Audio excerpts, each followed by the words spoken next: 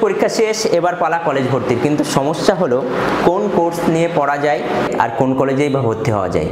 নানান একটা কোর্স আর নানান কলেজ সব কলেজে সব কোর্স পড়ানো হয় না।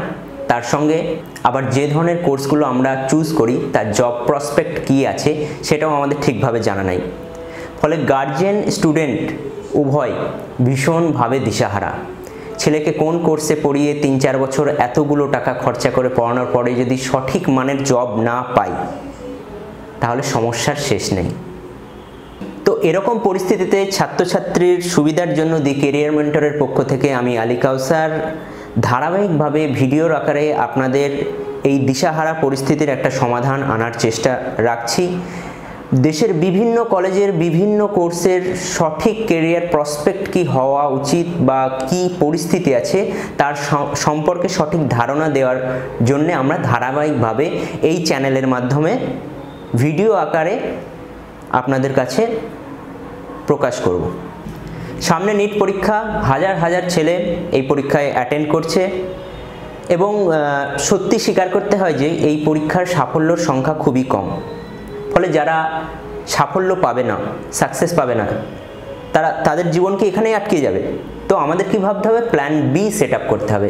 তো প্ল্যান বি এর জন্য আজ আমরা প্রথম এপিসোডে প্রথম কোর্স সম্পর্কে রাখছি বিএসসি অপটোমেট্রি যাকে আমরা বি অপটোমেট্রি বলে থাকি। তার সম্পর্কে আজকে আমরা ইন ডিটেলস আলোচনা করব, যা ছাত্রদেরকে বিশেষভাবে হেল্প করবে। প্রথমে এই কোর্সের ব্যাপারে কিছুটা বলে নেব। আমাদের চোখের গঠন, প্রকৃতি ও বিভিন্ন সমস্যার পঠন পাঠনই হলো বিএসসি অপটোমেট্রির কোর্সের বিষয়বস্তু।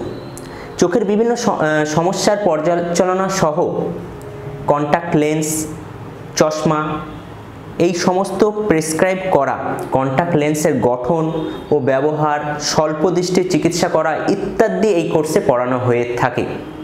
এরপরে আসছে কাজের ক্ষেত্র। এটি বেশি চ্যালেঞ্জিং পেশা।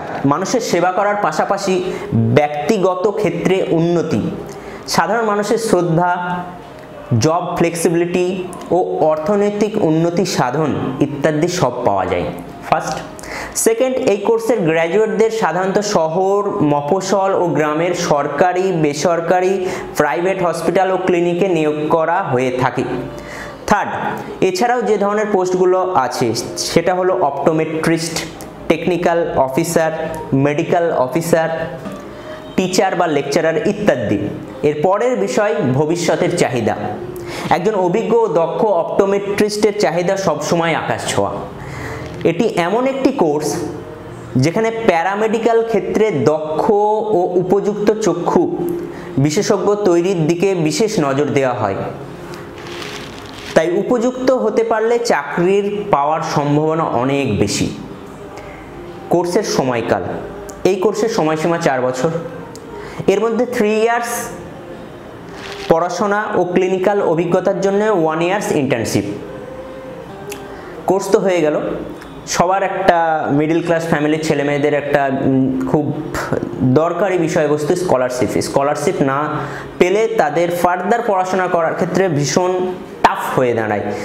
তো এক্ষেত্রে বেশ কিছু স্কলারশিপের মানে আমাদের এই ভিডিওর মাধ্যমে এটাও একটা আমাদের উদ্দেশ্য যে স্টুডেন্টদের কাছে স্কলারশিপের ডিটেলস এডুকেশন লোনের গাইডলাইন্স এগুলো আমরা যাতে পৌঁছিয়ে দিতে পারি, সেটাও আমাদের লক্ষ্য। তো পরের পয়েন্টে আসছি আমরা স্কলারশিপ স্কলারশিপের মধ্যে আছে minority scholarship Swami Vivekananda scholarship বিভিন্ন ইউনিভার্সিটি নিজস্ব স্কলারশিপ প্রোভাইড করে। এছাড়াও অনেক ধরনের স্কলারশিপ প্রোভাইড করে।